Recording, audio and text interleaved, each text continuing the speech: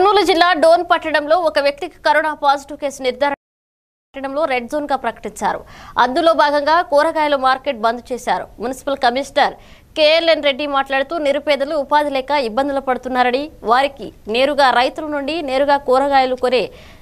అదే ధరకు వాలంటీర్ల ద్వారా డోర్ డెలివరీ చేస్తామన్నారు.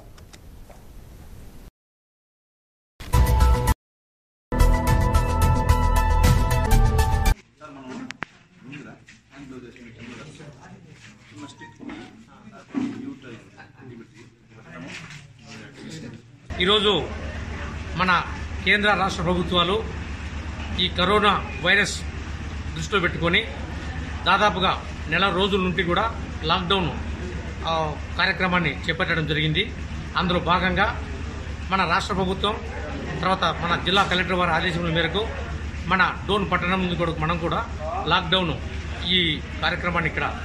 కొనసాగిస్తున్నాము. ఈ లాక్డౌన్ కార్యక్రమంలో భాగంగానే మన పట్టణంలో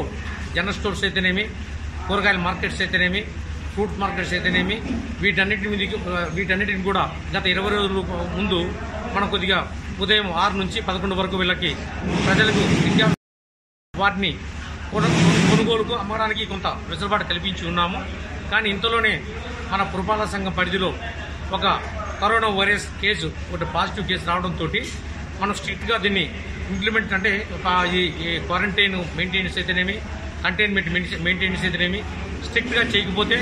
మన డోన్ పట్టణంలో ఈ కరోనా వైరస్ మరింత పాకే అవకాశం ఉందని అవకాశం ఉందని భావించి జనరల్ స్టోర్స్ అయితేనేమి ఈ నిత్యావసర పూర్తిగా మూసివేయడం జరిగింది. షాపులన్నీ ఆ దుకాణాలు అయితేనేమి నిన్న నిన్న మరియు ప్రత్యేక ఆదేశాలు ఇచ్చామేమని చికెన్ మరియు మటన్ మార్కెట్ కూడా పూర్తిగా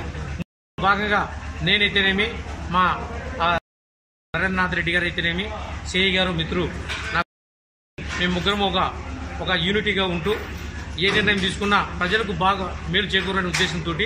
ప్రజలకు నిత్యావసర సరుకులు ఇబ్బంది కలగకూడదనే ఉద్దేశంతో మనము పురపాలక సంఘం తరఫున రైతుల దగ్గర నుంచి డైరెక్ట్గా పచ్చిమిరపకాయలు అయితేనేమి టమాటో తర్వాత వంకాయ వంకాయలు తర్వాత ఇంకేమంటారు దాన్ని పొటాటో ఆలు వీటిని మన రైతుల దగ్గర నుంచి డైరెక్ట్గా కొనుగోలు చేసి రైతుల దగ్గర నుంచి మనం ఏ రేటుకి అయితే కొనుగోలు చేస్తున్నామో అదే రేటుకి మన పురపాలక సంఘం సెక్రటరీస్ అయితేనేమి వాలంటీర్స్ ద్వారా ఇంటింటికి మనకు రైతుల దగ్గర నుంచి ఏ రేటుకి అయితే కొన్నామో ఆ రేటుకు